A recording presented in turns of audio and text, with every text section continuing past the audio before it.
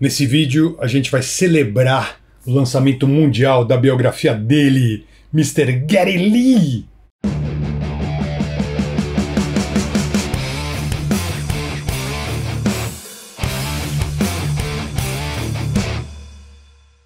O vídeo de hoje é sobre ele, ó. Esse aqui, um dos baixistas, vocalistas mais influentes do rock. Não é à toa que eu tenho um Rush tatuado aqui no meu braço, né? Eu amo a banda. Ganhei aqui um boneco especial, porque aqui no Brasil ainda está na pré-venda essa biografia. Então o pessoal lá da Belas Letras gentilmente fez aqui um boneco especial aqui para o Casa Gastão, para eu poder comentar com o livro inteiro mesmo, cheio de fotos. Esse aqui é o projeto do livro, quer ver? Ó? Tem um monte de foto, é muito legal. O Gedli realmente caprichou. My Effing Life. Aliás, intraduzível, né? Porque My Effing Life seria My Fucking Life. É uma maneira de se falar minha vida maluca, sei lá, algo que não foi tão maluca porque ele é um cara muito ponderado. Então, como eu te falei, muitas memórias, uma biografia muito detalhada, bem humorada e também muito lúcida. Impressionante como ele tem consciência do que ele viveu. A biografia vai receber uma edição, então, para colecionador. Vem o um bonequinho que minha amada Beatriz montou. Olha só que bonequinho legal. Gary Lee, tem também o marcador do livro. E o adesivinho aqui, My Effing Life. Também vai ter a edição brochura com a capa normal, a capa para colecionador, capa dura, né? Que é muito legal nessa biografia que o Gary dedicou boa parte dela a tudo que aconteceu antes do Rush. E antes do Rush teve muita coisa que o Lee vivenciou, né? Então, por exemplo, os pais dele são sobreviventes do Holocausto se mudaram para o Canadá logo após a Segunda Guerra Mundial. Ele fala sobre as confusões do seu nome de batismo, que teve várias versões ali. Nem ele sabia direito como é que ele chamava. Ele perdeu o pai muito cedo, com 12 anos de idade, foi muito traumático, deixou ele uma criança meio triste. E ele dedica ali um capítulo inteiro ao sofrimento dos pais dele ali durante a Segunda Guerra Mundial, muito emocional isso. Acho que foi para expurgar essa dor que convivia com ele. O Gary Lee visitou um campo de concentração ao lado da mãe dele e teve lá um discurso do Helmut Kohl, que era o chanceler da Alemanha na época, e ela falou uma frase para ele que eu até anotei de tão linda que é sobre a guerra. Me dei conta, talvez pela primeira vez, de que na verdade fui eu quem venceu a guerra.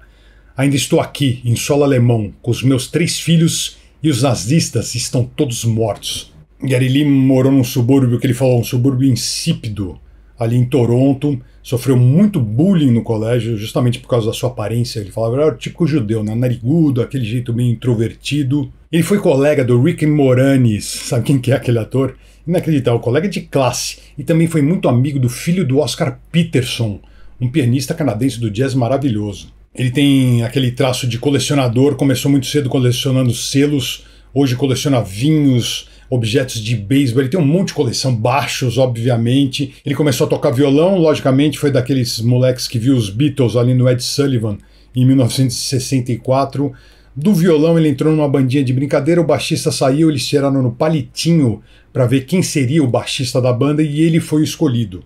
Logo na sequência ele já desenvolveu uma paixão pelo baixo. Ele sacou exatamente qual era a função do instrumento e ele mudou mesmo o conceito dele quando ele ouviu Jack Bruce, John Entwistle, Jack Bruce do Cream, John Entwistle do The Who, que eram os caras que botavam o baixo como um instrumento que conduzia a música, não um mero acompanhamento como a maioria dos baixistas faziam na época. Ele conta que ali nos primórdios do Rush, ele chegou a ser expulso da banda, ele ficou magoadíssimo, e essa banda que tinha ali o John Rutsey e o Alex Lifeson também, passou a se chamar Hadrian. Ia ter um show do Hadrian no mesmo dia no qual o Geddy veria o Jimi Hendrix. Só que ele está com tanta raiva do, do Hadrian, do pessoal do Lifeson e do John Rutsey, que ele perdeu o show do Jimi Hendrix para ver a ex-banda dele. E principalmente nessa biografia, ele mostra a espera pelo sucesso. Não foi uma coisa instantânea na carreira deles. Eles ficaram tocando muito tempo, ano comecinho ali dos anos 70, 1970, 71, 72, eles ficaram tocando ali só no Canadá, quer dizer, não tinham um contrato com uma gravadora, só foram lançar o primeiro álbum em 1974. Um álbum mais voltado ali para o hard rock, o único com John Rutsey na bateria por motivos de saúde ali do John Rutsey, eles tirariam o John Rutsey, fariam vários testes e acabou pintando ali simplesmente Neil Peart. Eu não quero ficar falando aqui os detalhes, senão virar um spoiler esse vídeo, eu não quero... Isso aqui é uma homenagem ao Geddy Lee, um dos meus músicos favoritos, um baixista que tem uma pegada única, única, ele toca pesado, com bom gosto, o baixo está sempre presente, canta pra caramba e é um tremendo compositor também. Leia a biografia, My F in Life é muito bem escrita, o Geddy Lee estava realmente inspirado, queria contar as coisas, repleta ali de fotos antológicas da sua infância, das primeiras bandas, de tudo que ele fez na vida, o primeiro beijo que ele deu numa namorada. Inacreditável, cara, para quem gostar de Rush, de música, imperdível. Geddy Lee, a autobiografia My Effing Life. Sensacional, muito obrigado, editora Belas Letras, por esse boneco aqui. Isso aqui vai ser uma edição de colecionador para mim. E eu espero que você tenha gostado desse vídeo. Se você gosta de Rush, imperdível. Se você não gosta de Rush, leia também, porque a vida do cara é impressionante e altamente inspiradora. Ficamos por aqui. Não esqueça de se inscrever aqui no canal, dê o seu like também e leia bastante para não ser enganado.